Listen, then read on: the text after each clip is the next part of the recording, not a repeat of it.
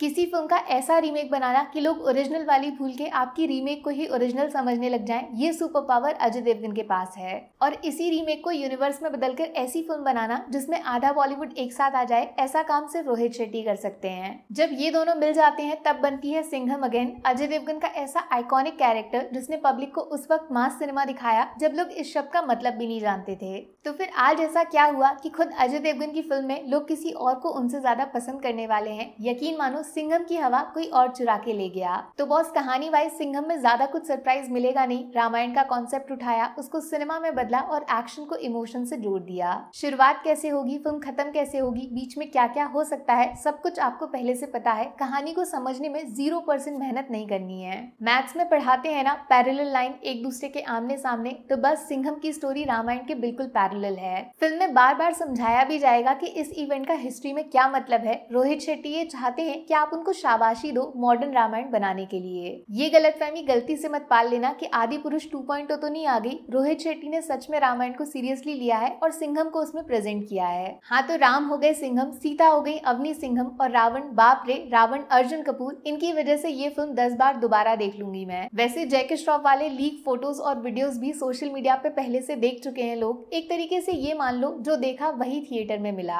अब जो चीज़ एक्साइटिंग हो सकती थी, वो थे कैमियोज लेकिन वो तो ऑलरेडी हम लोग ट्रेलर में देख चुके थे, इसीलिए थिएटर में ऐसा कुछ झटका नहीं लगने वाला किसी को भी देखकर। नए कैरेक्टर्स इस कॉप यूनिवर्स में शामिल हो चुके हैं बट मुझे अभी भी डाउट है, जब इनकी अलग से अकेली फ़िल्म आएगी तो लोग थिएटर में उसको देखने जाना पसंद करेंगे भी या नहीं? स्पेशली रणवीर सिंह का इतना ज़्यादा ओवर कॉमेडी का डोज झेलने के बाद सिम्बा पार्ट टू पे संकट के बादल अभी से नज़र आ रहे हैं मुझे। और भाई दीपिका पादुकोण को लेकर अलग से लेडी सिंघम नाम की फ़िल्म बनाने के बारे में सोचना भी मत, कुछ फील ही नहीं हुआ, क्यों आई, किस लिए आई, क्या काम था? तो क्या रोहित शेट्टी ने ऑडियंस के सिंघम के साथ 11 साल पुराने कनेक्शन का फ़ायदा उठाया और पैसे छापने के लिए देखी दिखाई फ़िल्म दोबारा बना दी। जी बिल्कुल नहीं, सिंघम अगेन एक प्रेजेंटेशन बेस्ड सिनेमा है। माने सीन क्या है, उससे ज़्यादा मैटर करता है कि उस सीन को दिखाया कैसे गया है। जब थिएटर में आप ऐसी फ़िल्म देखने जाओ, जिसकी पूरी कहानी पहले से पता हो, फिर भी ढाई घंटे एंड तक बैठने को मजबूर हो जाओ, सिंघम एक प्रॉपर मास सिनेमा नहीं है। इससे आप K G F R R R वाली एक्सपेक्टेशन मत लगाना। बस इतनी सी बात दिमाग को समझा दी तो समझो सिंघम अगेन ने बॉलीवुड फैंस की लॉटरी लगा दी। इतने सारे स्टार्स को सिर्फ़ एक टिकट खरीद के देखना आइडिया बुरा नहीं है। अजय देवगन को लिटरली गॉड लेवल पे बिठा दिया है। उनका कैरेक्टर ओरिजिनल तोड़ फोड़ वाइब्स देता है। मुँह से बातें और हाथ पैर से लातें दोनों दमदार होंगी।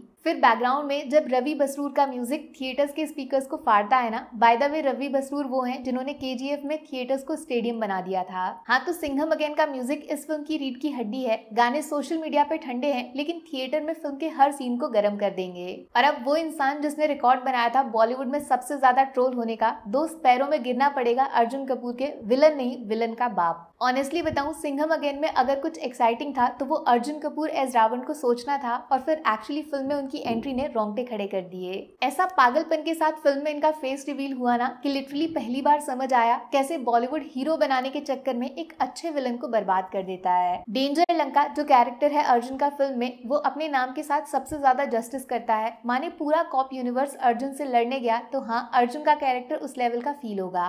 ये जब आते हैं, इनके पीछे अलग सा म्यूज़िक बजता है वो दूसरी कमाल की चीज़ है इस फ़िल्म में। पहली ये चाकू है, जिससे अर्जुन ने सबको हिला डाला है। और भाई, वो दूसरा एक्टर जिसको सबसे बड़ी कमज़ोरी मान रहे थे लोग फ़िल्म की टाइगर भैया, उनके एक्शन ने आग लगा दी। इनकी फ़िल्म आएगी तो मैं पक्का देखने जाऊँगी। और फिर आते हैं अक्षय कुमार एंड सलमान खान, एक बढ़िया तो दूसरा महाघटिया। भावनाओं में बहकर आप चुलबुल चुलबुल चिल्ला तो दोगे, लेकिन उस कैमियो का लिटरली कोई लॉजिक नहीं है इस फ़िल्म में। सलमान को टोटल वेस्ट मारा गया है। मुश्किल से दस सेकेंड होंगे बट ज़ीरो इम्पैक्ट है। जो सपने देखे थे हमने, दबंग वर्सेस सिंघम के, वो शायद फ्यूचर में पूरे हो सकते हैं, लेकिन इस बार ज़बरदस्ती उनको इस फ़िल्म में घुसा के बर्बाद कर दिया। अक्षय कुमार बढ़िया है, उनका रोल सलमान से तो लंबा ही है, साथ में एक्शन प्लस एंट्री का लेवल बता देता है कि सिंघम को अगर इस कॉप यूनिवर्स में कोई टक्कर दे सकता है तो वो सिर्फ़ सूर्यवंशी है। ये बात शायद सुनने में अच्छी ना लगे, लेकिन तारीफ़ कर रही हूँ, क्यूँकी सिंघम अगेन शायद बॉलीवुड में बनने वाली आज तक की सबसे बेशर्म फ़िल्म होगी। सब कुछ ऑलरेडी लोगों को पता है, सारे कैमियोज का आइडिया पहले से लग चुका है एंडिंग सीन कैसे खत्म होगा? बच्चा बच्चा जानता है, सरप्राइज़ में कोई एफर्ट नहीं डाला है। फिर भी इस फ़िल्म ने ऐसा माहौल बनाया है थिएटर्स में कि आप टिकट खरीदोगे सिंगम अगेन को पाँच में से तीन स्टार्स मिलेंगे। पहला सिर्फ़ अजय देवगन और अर्जुन कपूर के नाम, पहला एक्सपेक्टेड था, लेकिन दूसरा वाला सबसे बड़ा एक्सपेक्टर निकला। दूसरा, रोहित शेट्टी का रामायण में क्रिएटिविटी लगा के अपने यूनिवर्स में ऑडियंस को इमोशनली कनेक्ट करना। तीसरा, जो म्यूज़िक के साथ खेला है, उसने नॉर्मल सीन को भी बड़ा बना दिया। बैकग्राउंड म्यूज़िक अर्जुन का प्लस सिंघम का अलग से चालीसा। वाव था। नेगेटिव्स में आते हैं। रामायण की कहानी माने सिंघम में ज़ीरो सस्पेंस, कुछ ट्विस्ट नहीं, कुछ सरप्राइज़ नहीं, फ्लैट रोड के जैसा। दूसरा, अर्जुन कपूर का बिल्डअप इतना बनाया, लेकिन लास्ट में सब कुछ मामूली सा कर दिया। ढाई घंटे से कम में फ़िल्म खत्म करने की जल्दबाजी ने पानी फेर दिया। ईमानदारी वाली बात, फ़िल्म वन टाइम वॉच है, लेकिन please K G F R R R इन सबको दिमाग में लेकर मत जाना। वैसा मास नहीं है, प्लस ओरिजिनल सिंघम जैसा क्लास भी नहीं है। बाकी वीडियो में कुछ पसंद आया हो, या फिर कुछ शिकायत करनी हो तो मैं आपको इंस्टाग्राम पे भी मिल जाऊँगी, वरना थोड़ा सा इंतज़ार करिए मिलूँगी आपसे अगले वीडियो में। Take care bye bye